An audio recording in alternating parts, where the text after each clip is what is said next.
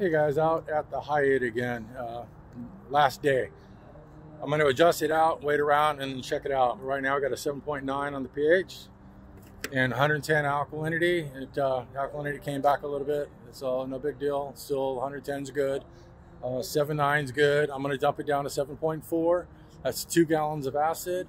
So I'm going to go ahead and put two gallons of acid in this right now.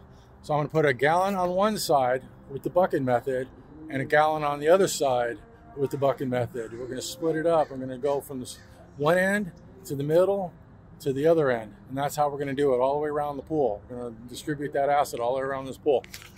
So we're going to go start here and then keep going all the way around the pool and put the acid in there. Um, and, uh, and that's it, man. All right, later.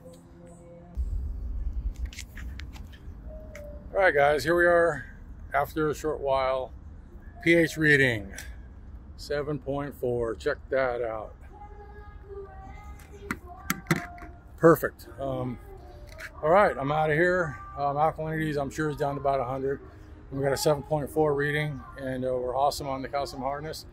And I'm out of here. So, um, again, we dialed it in. I dialed it in really damn good. Got it right down to where I wanted. And uh, once again, one last look at this pool.